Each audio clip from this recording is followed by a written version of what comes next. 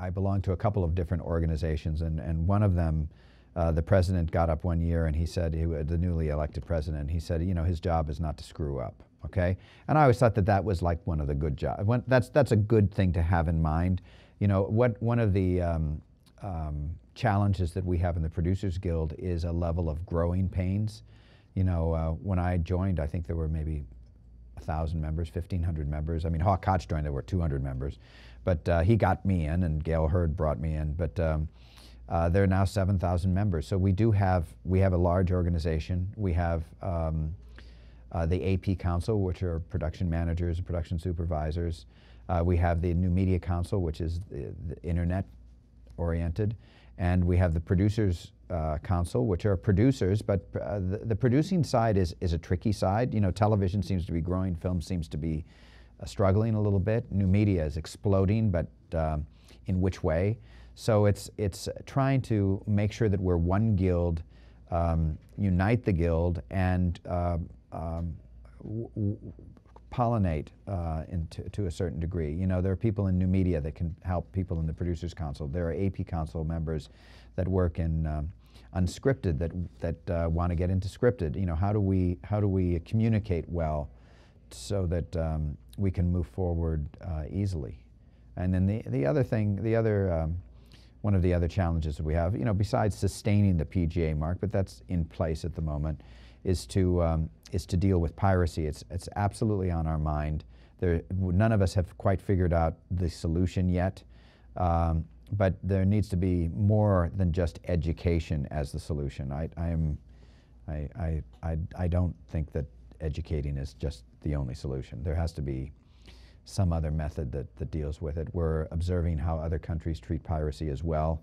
No one has quite come up with a, a solution yet, but I was in uh, Cannes and I spoke to uh, uh, producers from Germany distributors from Germany and from Spain and from Italy and from France, where piracy is just as rampant as, as it is in the United States and is harming the film business. And, and um, I let them know that, that um, if they were became aware of any, um, any uh, scenario that worked, that I could, um, I could bring 7,000 PGA members to help.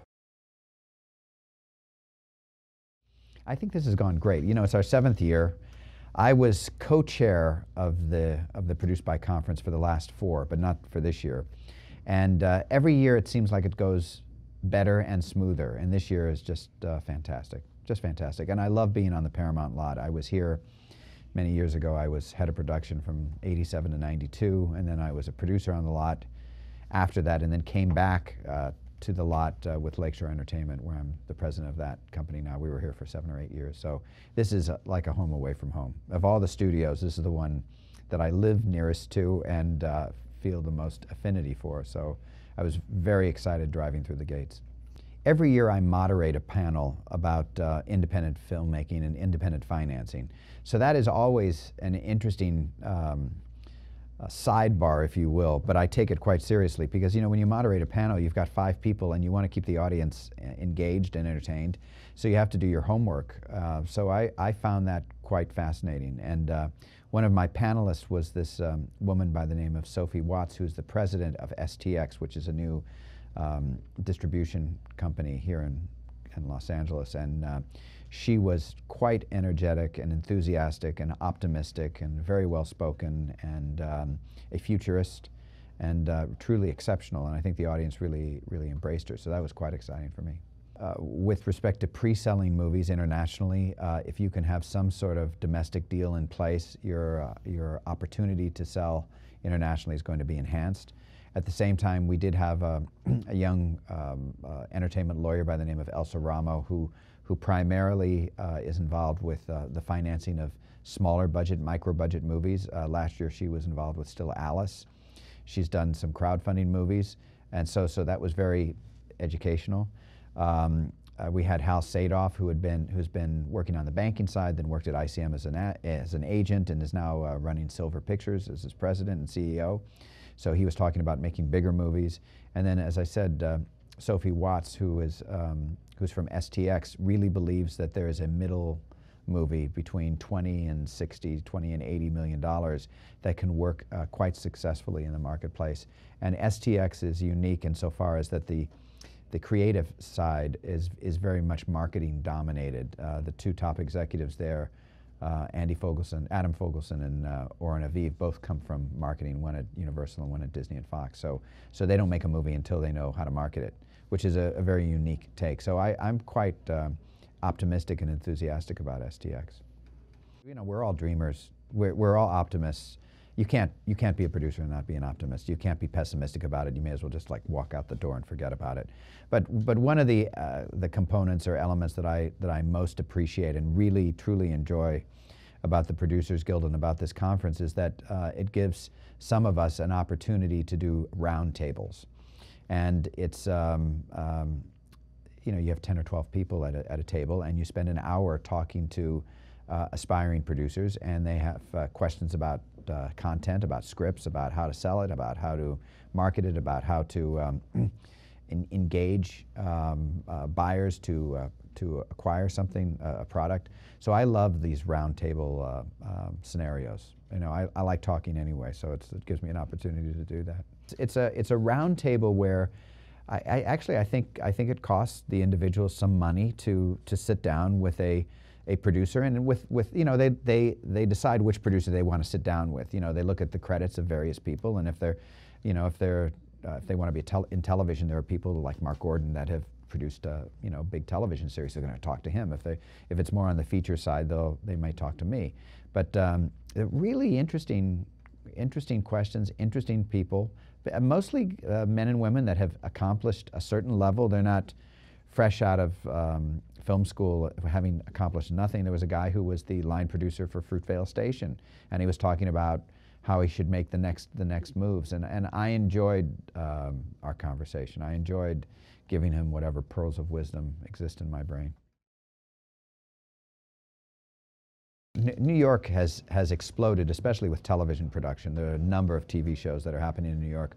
Also, new media has become quite prevalent in New York. There are a lot of uh, uh, networks discovery that and, and content is being created out of Washington, D.C. and out of New York. Uh, and with the burgeoning number of members, um, quite a few of the, of, the, of the New York, our New York associates were talking about, well, why don't we do a PBNY, do a produced by in New York? So we, uh, the, the, uh, the leadership of the Guild were all for that, and we did one last year. I had the um, the good fortune of interviewing Darren Aronofsky, which I, I, found very exciting. I had to rewatch all of his movies, but that was a thrill in and, of, in and of itself, and I was somewhat intimidated by his intellect, so I had to really bone up in terms of preparation for, for my interview. But uh, Harvey was there, Mark Gordon spoke, um, uh, we had some, uh, uh Jake Gyllenhaal. So we had a really great one-day uh, um, conference. And um, at the end of it, I stood up in front of um, the New York members and I said, look, I said, I don't know why this shouldn't be a yearly thing, and as long as it can be paid for successfully, we were going to completely support it. So at the moment, uh, it looks like uh, New York is coming through and they will achieve that goal. And at the moment, I, uh, Tina Fey is one of our cornerstone um, um, speakers. So that, that would be fantastic. Because there, are, there is a lot of talent right now um, residing in New York. It's, it's interesting with respect to marketing films, for example. I just um, produced a movie called The Age of Adaline, and we, we did our press junket in Los Angeles, but we did the premiere in New York because, uh, you know, Fallon is in New York, Letterman is in New York, um, uh, Kelly and Michael are in New York, so um, Rachael Ray's in New York. There's a, there's a lot of uh, marketability about New York City, so it's, uh, it, it, the East Coast is happening right now. I have a day job. You know, I, I, am the president of Lakeshore Entertainment, and, and um, we're making another Underworld with Kate Beckinsale and Theo James. We hired a woman director, Anna Foerster, who Mark Gordon actually had worked with before. She's the She's a she's um, she was Roland Emmerich's cinematographer and second unit director, and then she's directed a lot of the Outlander episodes, which is a huge new series for Starz. It's fantastic. She's directed the final two episodes of both season one and season two, so she's Sony Pictures Television's big gun.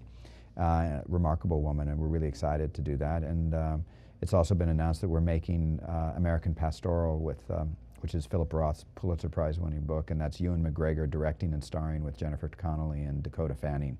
So my, my fall will be very busy going back and forth between both of those productions. They should know that, that, that part of what a producer does is constantly look for new stories and new ideas. And uh, we're in a, at least on the film side, we're in, a, in, what I believe to be a very complicated and tricky time. Uh, we have such quality content on television that to get uh, a, a, human being into a movie theater is becoming more and more difficult.